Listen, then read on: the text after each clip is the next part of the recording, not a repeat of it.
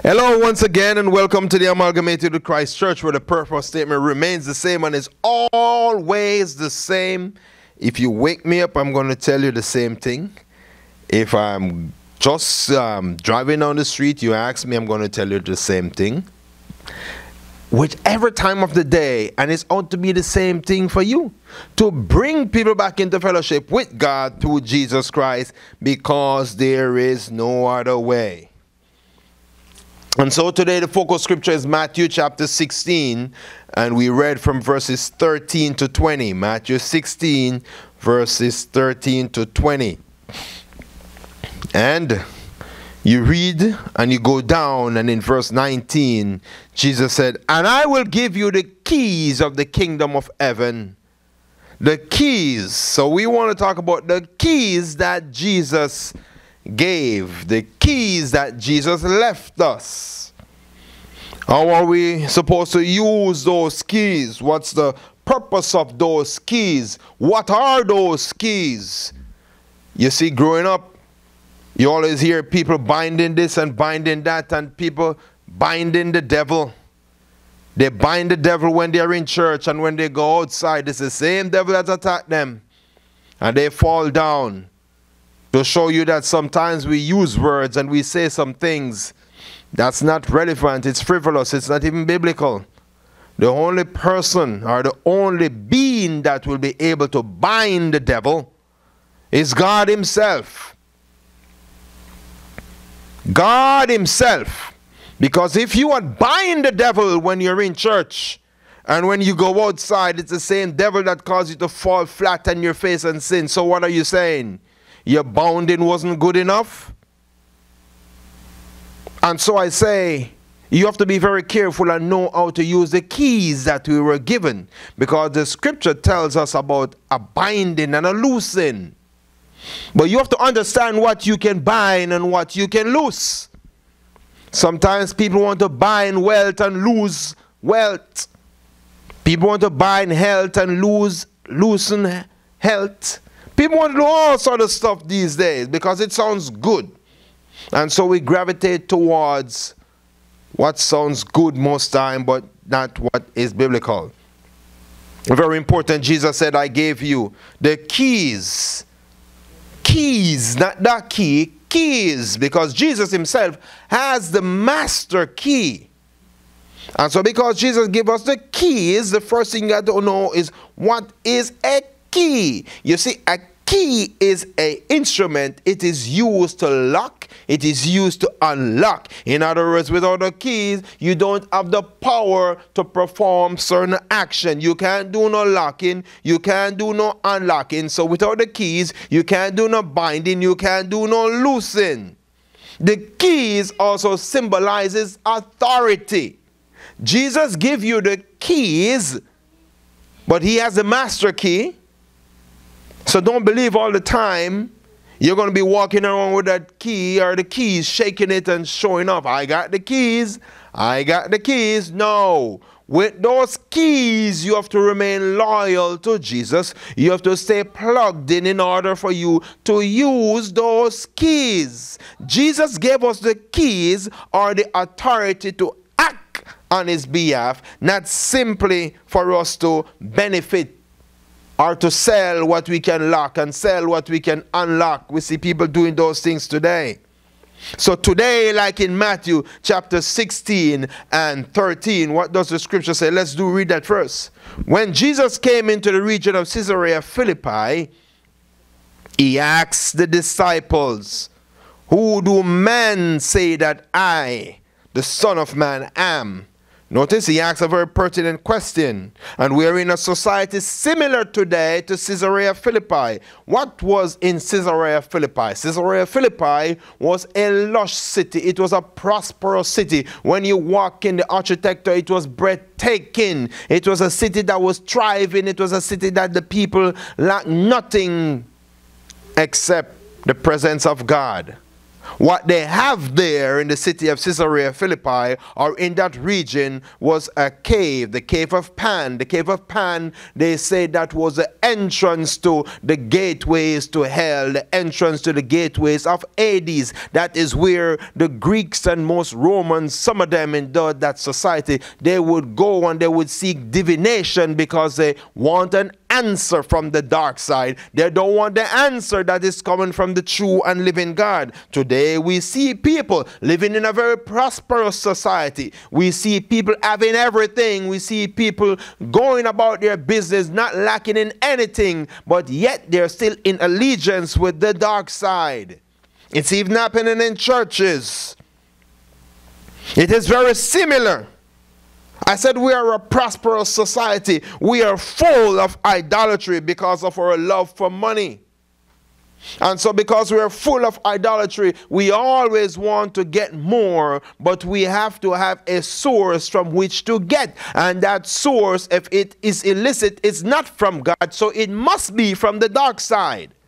It is similar back in the day when they were in that, that region of Caesarea Philippi.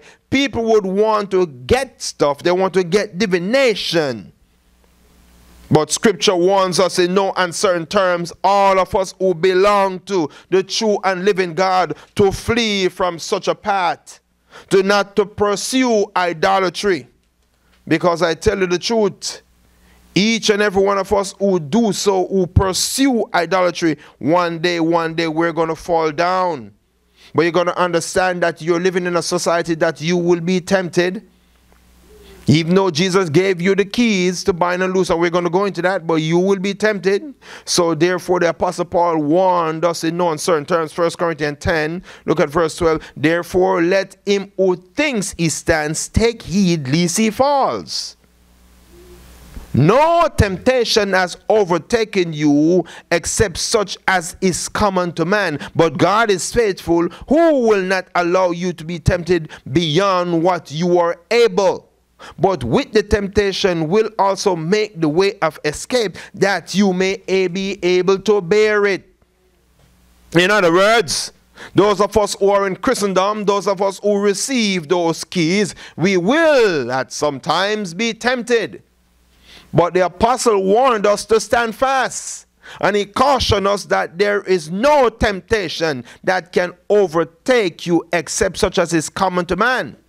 But because you have a relationship with God through Jesus Christ, because God is faithful, God will not allow what is what is afflicting you. God will not allow what is coming upon you to overtake you. There will always be a way of escape.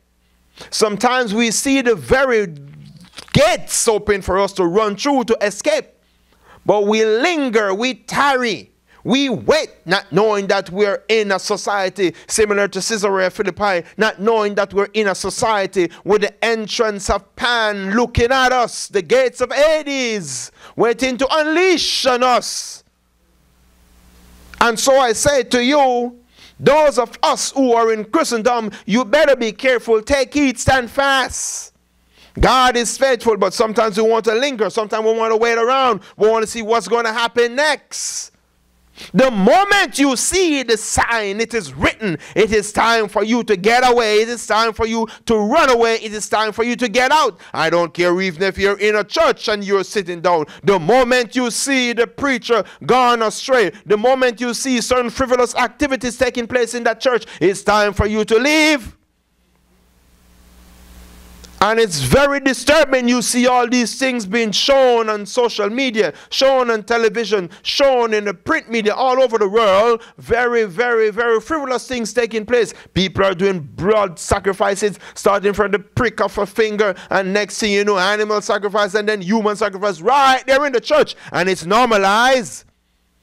And I say the gates of Hades has been unleashed against some people who have not the not the fortitude to run away when they see. The apostle said that you will always have a way of escape.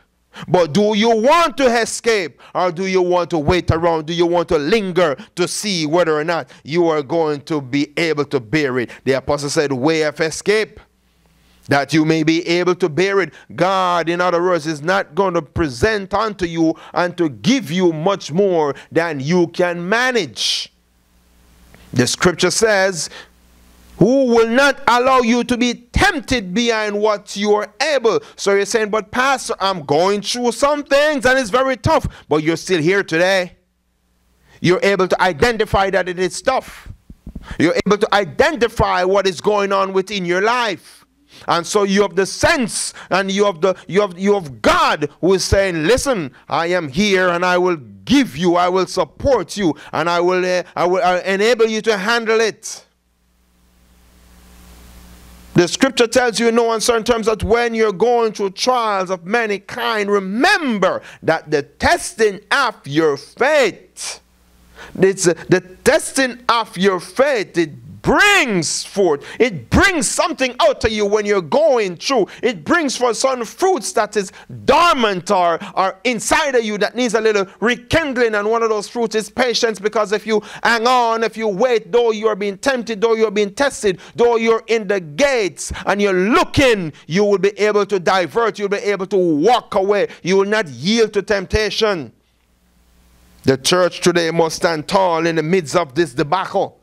The church today cannot afford to lose its savor because Jesus has established the church in the midst and the middle, right there in a very paganistic state. The, the gates of hell, Caesarea Philippi. Look, let's look where Jesus what, what Jesus did. Matthew chapter 16 and look at verse 10. Then they understood that he did not tell them to beware of to, to beware of the leavened bread not the, the leavens that you put in bread, but of the doctrine of the Pharisees and Sadducees. What am I saying?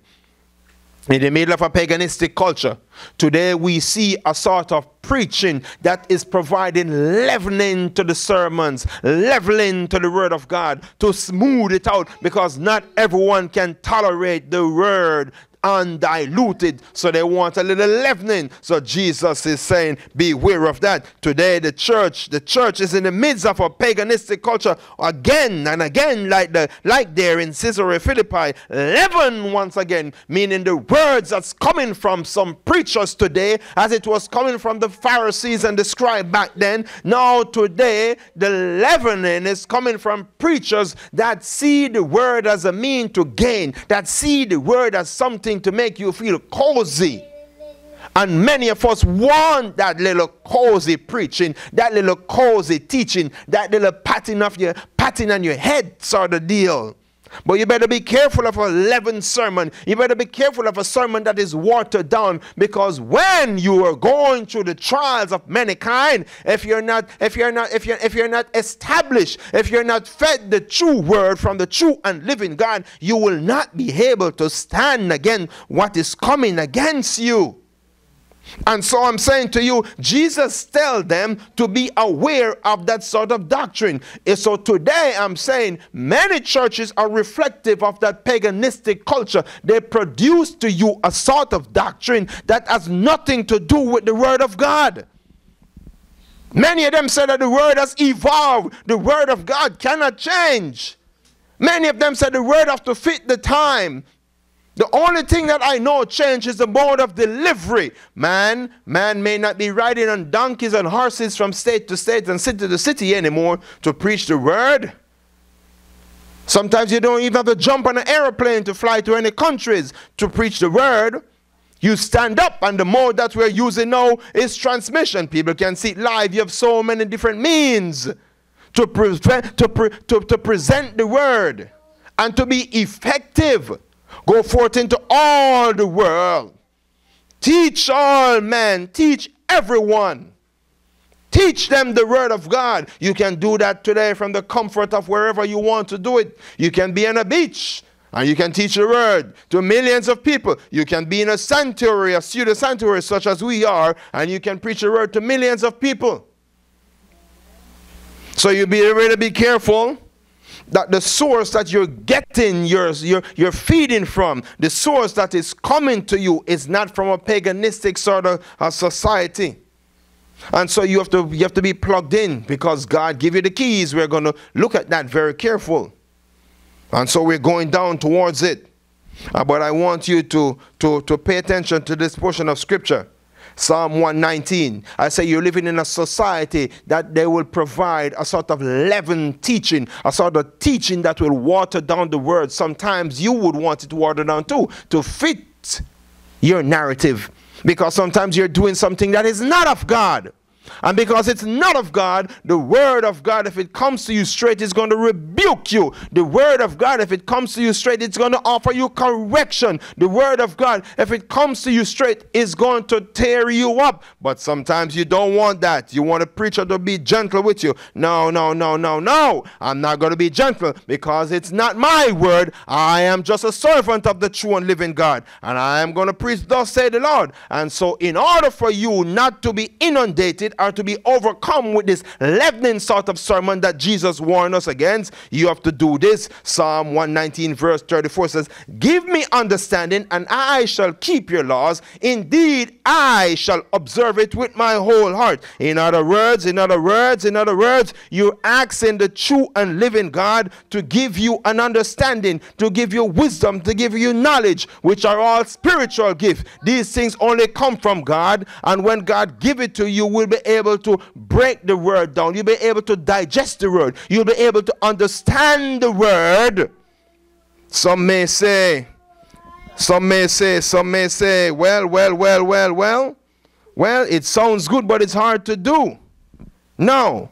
Jesus gave us the authority. Jesus gave us the keys in the middle of a paganistic society. Jesus did not think it was going to be simple. Jesus did not take the disciples and bring them in a lush part of town and say, hey, listen, this is where you should stay. This is where you should reside. Hide. Don't go out in the world. Don't preach. Just hide. No. Jesus gave you the authority in the midst of a society that needs cleansing. It needs cleansing. But to use the keys that Jesus gave, you have to know who Jesus is. And that's a problem. Many of us have lost our identity because we have never been established with the true one living God, the Son of God, our Lord, our Savior, Jesus Christ. And Jesus said it right here Matthew 16, verse 13. Who do men say that I, the Son of Man, is? Because when Jesus asked the question at first, then listen to them. So they said, some say John the Baptist, some say Elijah, Others say Jeremiah are one of the prophets. You see a lot of speculation going on today. Just back then, a lot of speculation. Society speculate on who Jesus is. But who do you say he is? People like miracles, people like to see deeds and so churches are crowded when someone come into town telling them that they're going to give prophecies giving prophecies a dime a dozen keeping a prophetic convention as if the word of prophecy is something that is just frivolous. You cannot produce prophecy unless it's given to you by the Holy Spirit, by the will of the Holy Spirit, not because you feel like you want to prophesy today.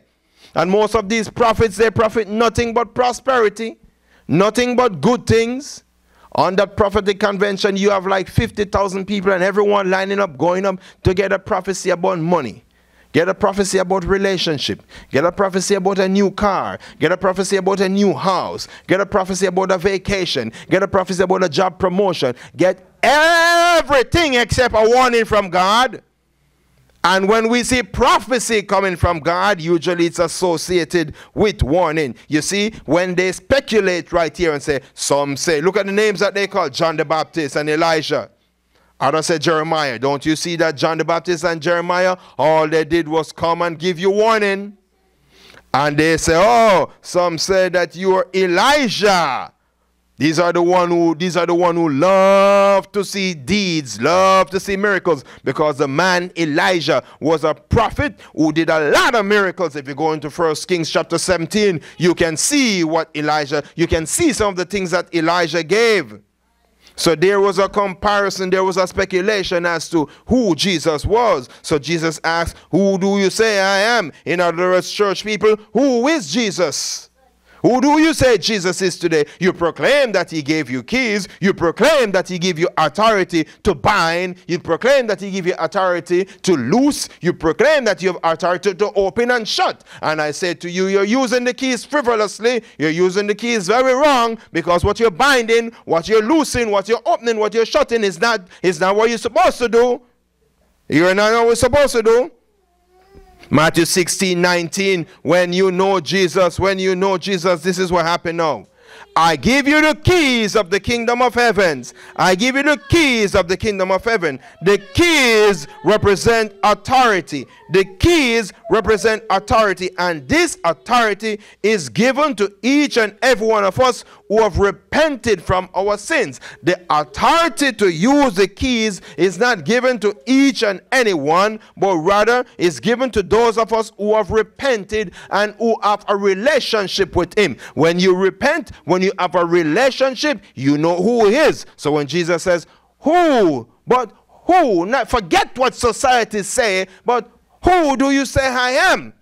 For you to confess Jesus Christ as Lord and Savior, there must be some repenting. Acts chapter 3, verse uh, 19 says, Repent therefore and be converted, that your sins may be blotted out, so that times of refreshing may come from the presence of the Lord. You will not receive any times of refreshing from God unless you belong to Him. So therefore, when you are refreshed, then you receive the keys, the keys that Jesus gives. The keys are what the believers use based on the authority of Jesus Christ. The keys are the, uh, the keys that Jesus gave.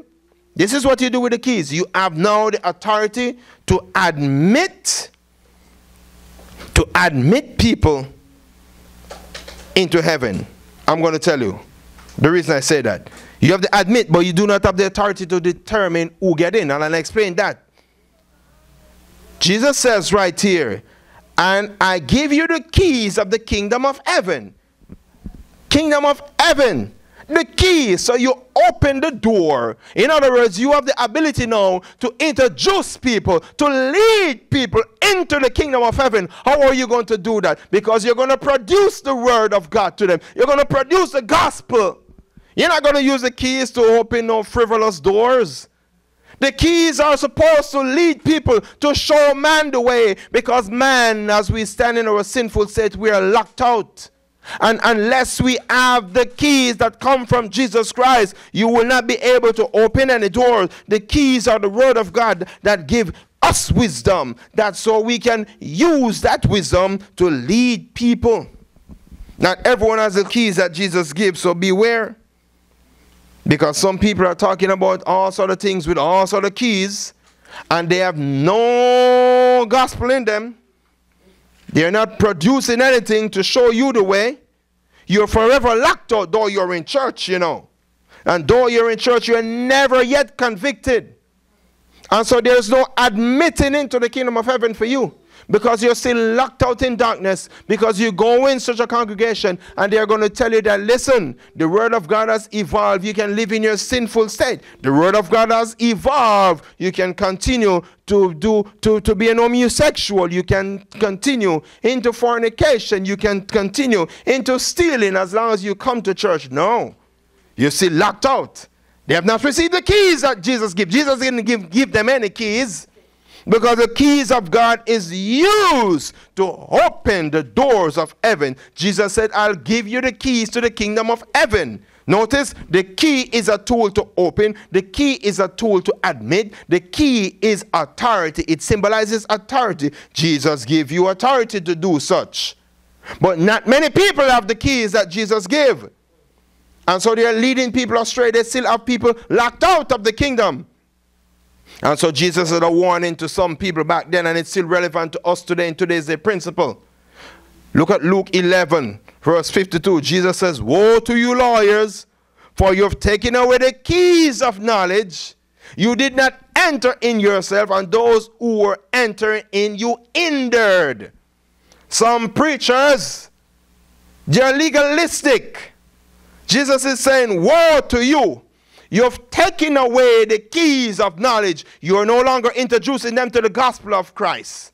You're no longer introducing them to what can bring them salvation, which is the gospel. You're no longer introducing them to this thing that is called eternal life by the way you live, by the way you testify. You're no longer doing so. Instead, what are you doing? Because you're preaching leaven sermon. You're preaching a sermon that is corrupted.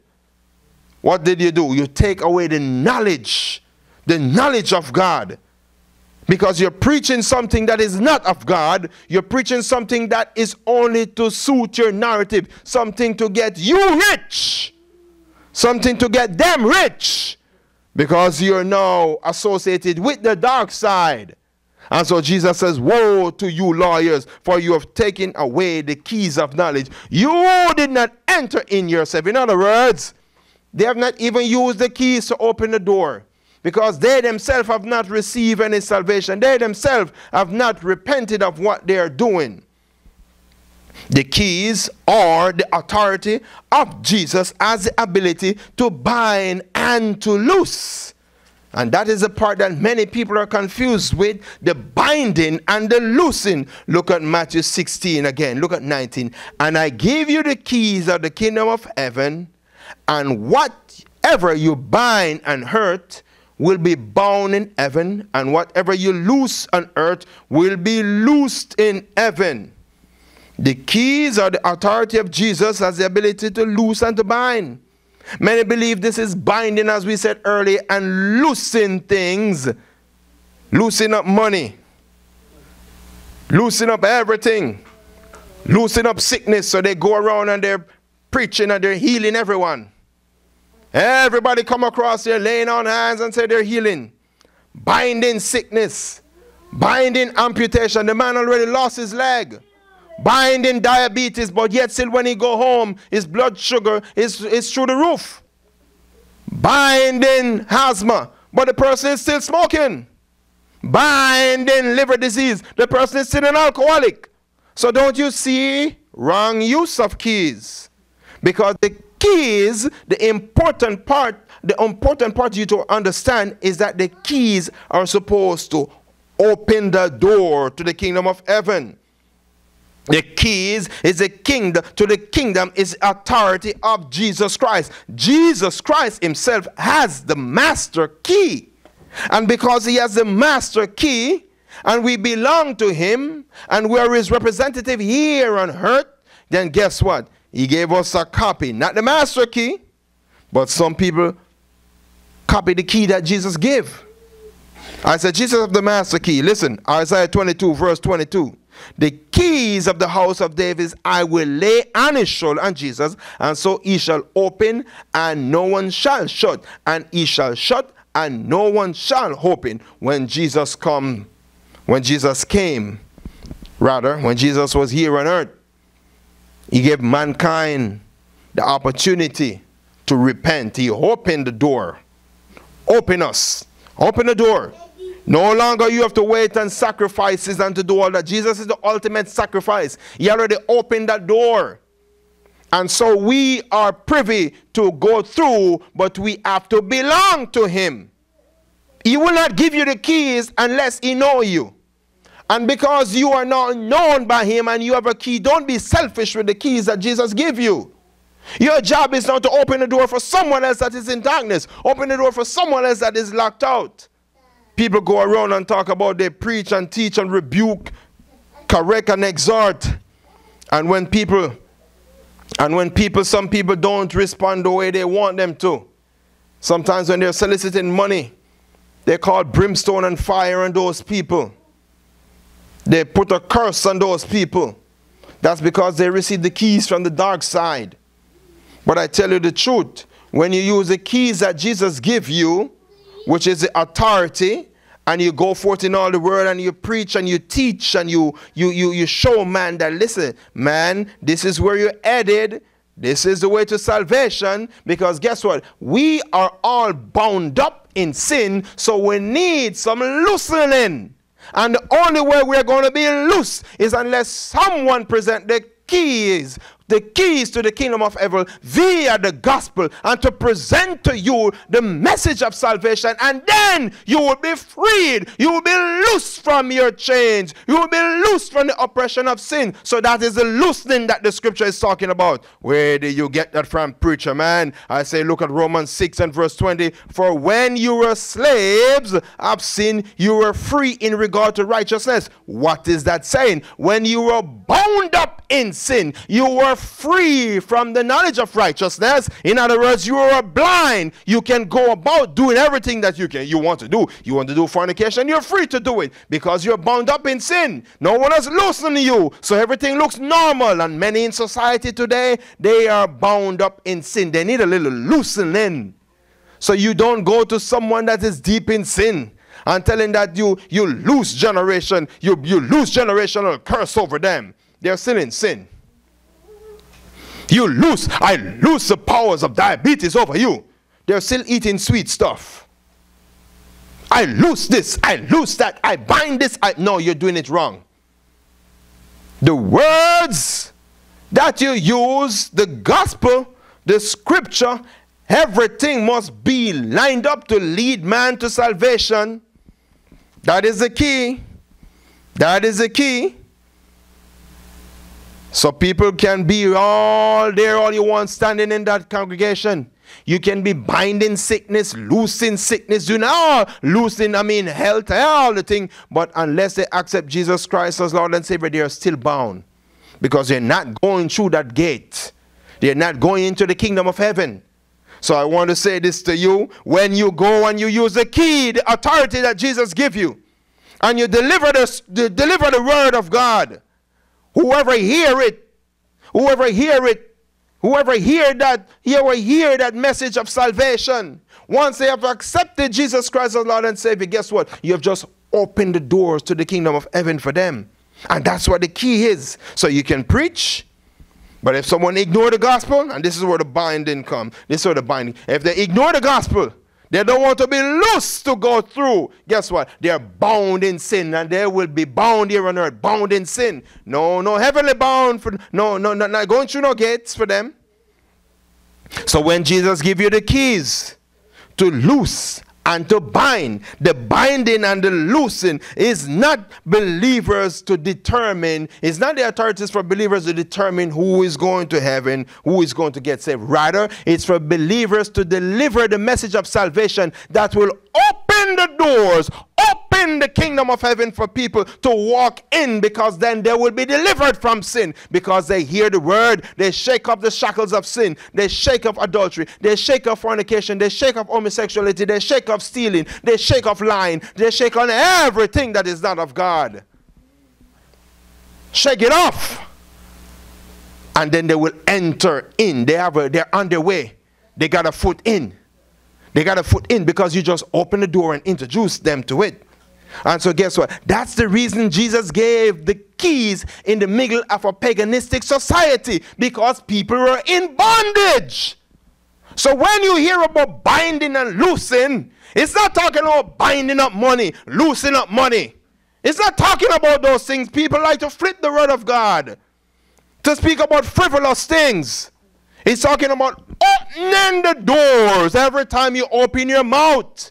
Every time you every time you you present a testimony to someone, every time you share the gospel, whether by the way you live, whether by how you speak to them, any which way you're using the keys that the master give you to open the kingdom of heaven.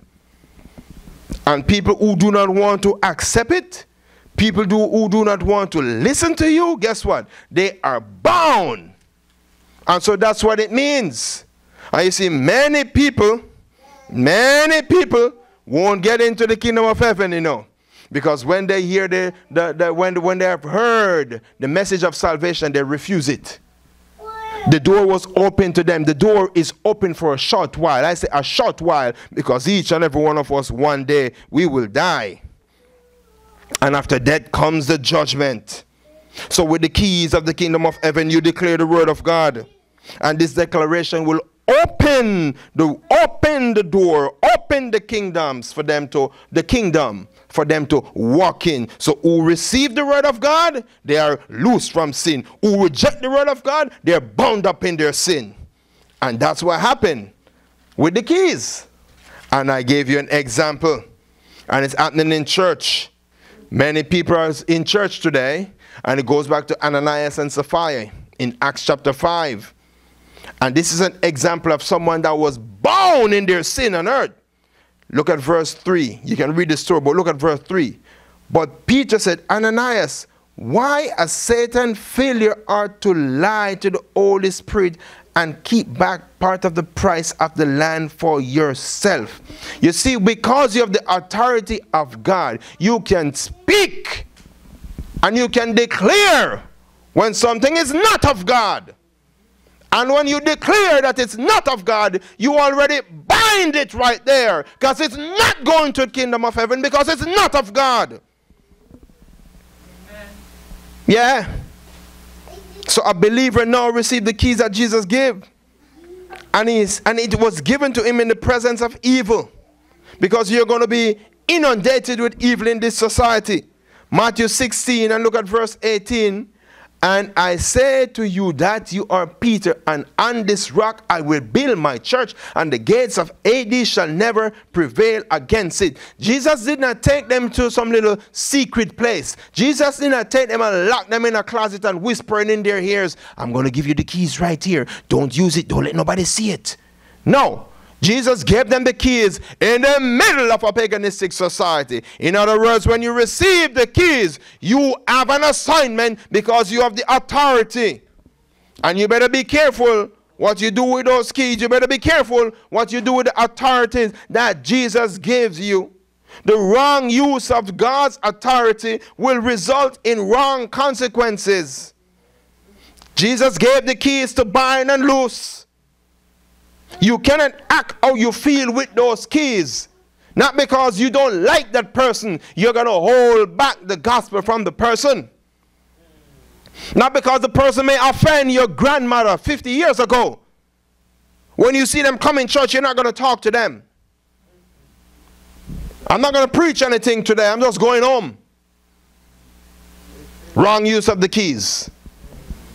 When you receive the keys to bind and loose, there's no self praise, there's no pride, there's no special privilege. So you can't only decide you're going to open doors for your family members. In other words, you're only going to whisper in their ears, This is salvation. This is salvation. People outside you don't care about because you're not your blood relative. Wrong use of the keys. The power of the keys to the kingdom of heaven requires for us to observe a certain stewardship with God. Certain stewardship with the gospel. You cannot go around and do as you feel fit because those keys were given for you to use, to open, to open, to open the kingdom of heaven. And because you were given those keys, if you use it wrong, is going to be taken away. In other words, the authority that you receive to preach the gospel, the authority that you receive to preach on behalf of Jesus Christ. Are not using those keys wrong. You're not doing anything for God anymore. Because God cannot look and sin. God has no God has no nothing to do with sin. God is not a part of sin. So any man standing in the pulpit declaring that they are from God and they're preaching things that is not of God, they cannot be called. Society may call them a pastor, but guess what? They are not in the sight of God. Society may say that he's an evangelist, but guess what? He is not so in the sight of God. Society may say he's a teacher of the gospel, but guess what? He is not so in the sight of God. And why is that? Because Jesus himself, he gave, he gave unto some, he gave unto them. And all those offices were part of the, are part of the fivefold ministry. I like to say prophets and apostles. There were then because the church was built on the foundation of the prophets and the apostles. So people go around every day and as I like to say prophesying because they receive a word of prophecy. They're not no prophet. The prophet and the apostle were already here. They wrote the scriptures. They wrote it down for us so we can read it. But people like titles, fancy titles. They don't read the scriptures, they don't read this, and so they do not they do not they do not understand the authority that they have. But Jesus, Jesus gave us those keys, and Paul reinforced that we are supposed to be short. Look at 1 Corinthians chapter 4. Let a man so consider us as servants of Christ and, and stewards of the mysteries of God meaning the teaching of Christ, the teaching of Christ. That is the mystery of God because a lot of people don't understand this. And that's the reason you have to use the keys to loose, to open the doors to the kingdom of heaven because Jesus is the way. Jesus is the way to the kingdom of heaven. And so we, as stewards of the authority, to preach and to preach and to teach the mysteries of God. And I said to you, be very careful because there's no special privilege. With the keys, you have the authority of the kingdom. You have the authority of heaven because you belong to Him, the one you sent you. You belong to God. And so, because you are going to use the keys as a good steward, as a good servant, many in society won't like you because you're going to denounce all slackness and you're going to preach against things that is not of God. You're going to see things and you cannot sit down and say, mm, mm, mm, mm. That's when you have to bind those things up in the name of Jesus because you're going to condemn it. Oh, no, no, no, no, no, no. That is not of God and you condemn it. You condemn it because it's not of God and so they don't like you. They say you come to destroy it. Yes, you have to because you have the keys to bind and to loose. And you ain't going to loose anything that is filled with iniquity. And so the Apostle Paul says right here in Second Corinthians chapter 4, verse 2, but we have renounced the hidden things of. You see what I'm telling you? When you renounce the hidden things of shame, you bind that. Not walking in craftiness, not handling the word of God deceitfully, but by manifestation of the truth, condemning ourselves to every man's conscience in the eyes of God. So listen, when you bind it, they're going to say, oh, oh, look at him. He's trying to destroy all this thing. He's trying to tell them not to sow any seeds anymore. And so they hate you. When you tell them that the preaching and the binding and loosing is not about binding up and loosening money in their pockets, they get upset with you. But that's okay. But that's okay. Jesus Christ said this. Look at this now. John 15. John 15. Jesus said it. So 18. If the world hates you, know that it hates me before it hated you. So when Jesus came and Jesus was here, Jesus did a lot of loosening because he showed man, this is the way. I am the way. I am the truth. No one goes to the Father but through me. Jesus in other words saying, listen, gates of heaven is open right here. But when Jesus condemned, when Jesus rebuked, when Jesus exposed, he bounded up. And so they hate him. So Jesus says, if the world hates you, believe me, they hate me first. So it's no big deal. And so when you're using the keys appropriately, man, they're going to hate you. They're not going to like you because who are you to come and tell them that you can't sing on the choir if you're deep into fornication? Who are them? Who are you to come and tell that what you're playing in the church should not be played in the church? Who are you? Who are you? Where do you come from? Do you see you're destroying what the young people has created? Who are you? Who are you? Who are you? No, you're binding the things that's not of God because you're, you're, you're denouncing it. The scripture says you denounce the hidden things of shame. You denounce hidden things of shame. With the keys to the kingdom of heaven, you must be very, very, very careful, knowing that you've been entrusted with an high office. And because you've been entrusted with the high office, you cannot show favoritism. And because you cannot show favoritism, many people are going to be against you. But it's okay. Listen, Jesus said this in Matthew 10, verse 34 Do not think that I came to peace on earth. I did not come to bring peace on earth, but a sword. Why is it a sword? Because you're binding and loosing in the name of Jesus. And you're not losing any money because that's a frivolous talk. That is frivolous talk. But they're going to say, but preacher, it says that whatsoever you, what was Jesus talking about? Look at the context of the scripture. You see, people like to verse pluck. Whatsoever. Don't you see that Jesus was in the middle of Caesarea Philippi? Don't you see that those people were rich, luxurious? Go and research Caesarea Philippi. They did not need no man to come and to come and loosen up any wealth on them. It was the Romans and the Greeks. They did not need no no little fishermen and no little and no little men and tax collector to come and lose. It was it, it was a province that was rich, that was wealthy. So why would Jesus go and tell them, listen, go lose some money and these they already had money. Jesus don't tell that was not the intent. Go and read the scripture. Jesus built on the rock. On this rock I will build my church, and the gates of Hades will not prevail against it. Listen, the gates of Hades, listen, look at look at it very carefully. Caesarea Philippi, very rich, very wealthy. Don't need no little man to come and tell them about prosperity. They had it all. Jesus went there, created a church, the, the church, the first church right there. Right there. Jesus gave the authority. The church was formed right there. And the job of the church in that paganistic society was to bind and to loose bind and to loose. What was it? What was it that need binding right there and loosing? Sin. Sin need to be bound up. Man that was in sin need to be loosened so that they can enter into the kingdom of heaven. And so the power of the keys to the kingdom of heaven requires us, as I said, to observe good stewardship. Many will hate you when you're using the keys appropriately. And many will come up against you, even members of your, of your own household. And so some people turn to people with camouflage keys. People with camouflage keys running around these days, proclaiming certain gospel. Always having a, a having a, a, a prophetic convention.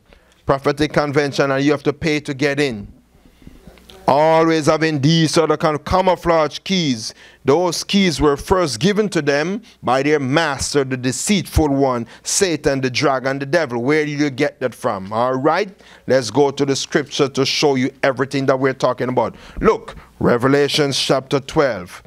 Look at verse 9. What did verse 9 say? So the great dragon was cast out, that serpent of old called the devil and Satan, who deceived the whole earth the whole world. He was cast to the earth, and his angels were cast out with him. Satan was cast down. Jesus is here, giving us, and he gave us the right keys. When Satan come down, Jesus said, Oh, a lot of these people love this prosperity thing. I'm going to give my servants some keys to go and open some door. What did the scripture says? Look on Second Corinthians chapter, um, chapter 11, verse 13 For such are false apostles, deceitful workers, transforming themselves into apostles of Christ. And no wonder, for Satan himself transformed himself into an angel of light. Listen to this very carefully, fake keys people.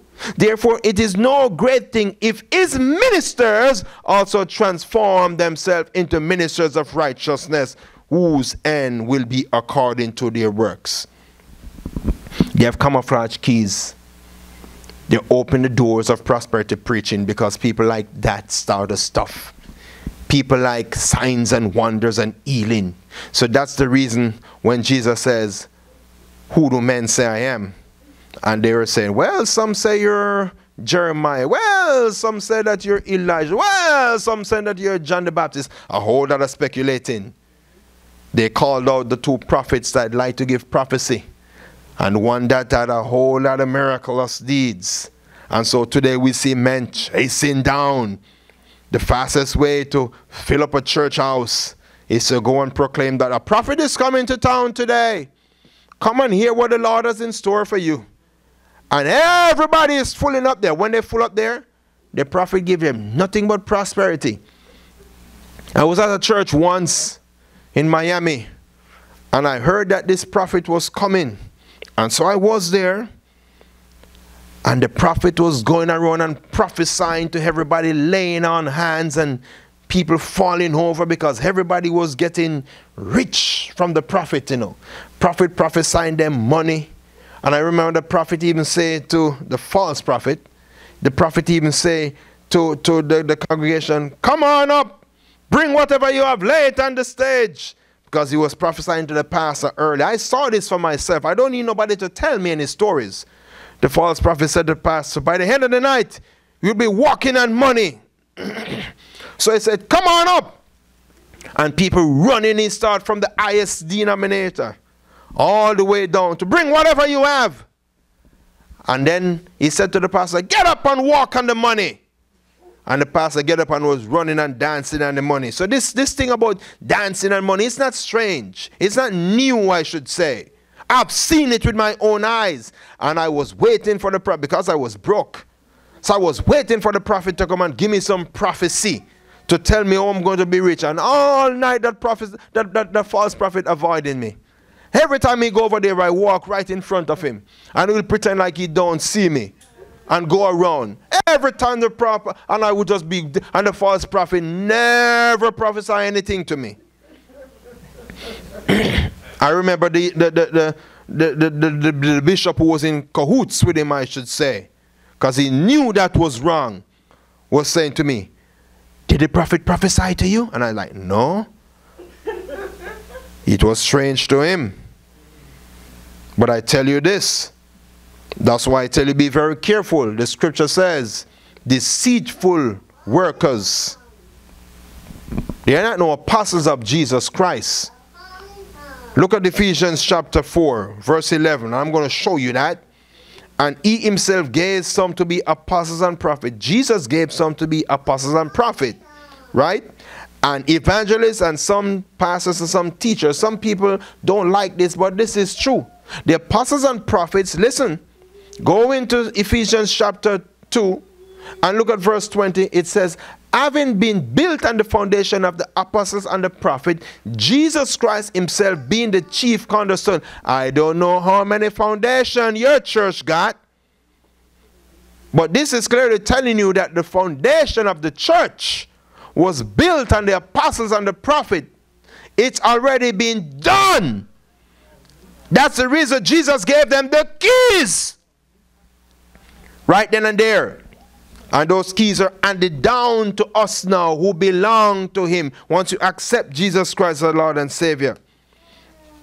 But I say to you today the further you are from Jesus, the more you will be tempted to take fake keys. The more you will be tempted to go and listen to some of those false prophets prophesying things that, they're not of God. Therefore, it's no great thing if his ministers also transform. Transform into ministers of righteousness. Transform into people that come and they prophesy to you every single day. That's the reason. It's the scripture says it's no great thing. It's no great thing. It's no great thing. It's no, it's no, therefore it's no great thing, the scripture says. That's the reason they can go on social media. They're always prophesying night and day. Sometimes they come on like two, they have two shows two shows and they always have their WhatsApp or their Zelle now these days. They always have their WhatsApp and their Cash App and whatever to take money, to siphon money off of you. And people typing in, man of God, woman of God, I am sick. Pray for me. I can see you. I can feel you. No, you're lying. You're lying because your false keys, your keys don't work. Your keys, you notice these apostles and these prophets, they're not leading anyone into, in, in, in, into the path. They're not, they're not telling anyone that they should repent of their sinful deeds. They're always going, I'm coming into town. All who need healing and everybody run because all of us need a little healing, you know. How many times have you gone to some false prophet and they tell you that you're healed and you're still having aches and pain? How many times? They're always doing some frivolous things. Let me see them grow a leg back. Jesus Christ give us the keys and miracles are not impossible. I'm not discounting that. I'm just saying you better be wise. You better be wise. That's all I'm saying because not everybody who are waving keys look at their keys very carefully. Some of them keys look suspicious. You can see it a mile apart. You better look. The keys that Jesus gave are powerful. It's powerful. It will be on earth as in heaven when those keys are used. What is in heaven? God's program is in heaven. Righteousness and holiness, that's what's in heaven. That's what resides in heaven. When the keys to the kingdom of heaven are used to open the doors of heaven for those of us who are bound in darkness, the those of us who are bound in iniquity, we have a glimpse. Now it's for you to enter in. It's now for you to hear well done, thou good and faithful servant, because you continue the path. But when you hear the words of God, brothers and sisters, when you preach, when you when you live your life as a living, sacrifice, whether just by living and you know you are showing them, you know your lifestyle is a testimony unto them, you have no authority. You have no authority. You have no you have nothing, nothing, nothing on you. You you will not be held accountable because you have already done your job. You have used the keys to show them this is the way, but they have refused to enter in. So, guess what? They're just bound up in sin right here on earth. And so, brothers and sisters, those of you who are bound in sin, it's time for you to understand that the keys, the keys to the kingdom of heaven, are being used today. This message is being preached, this message is going forth. The keys to the kingdom of heaven is being used so I say to you, enter in. It is open. In Jesus' name, amen.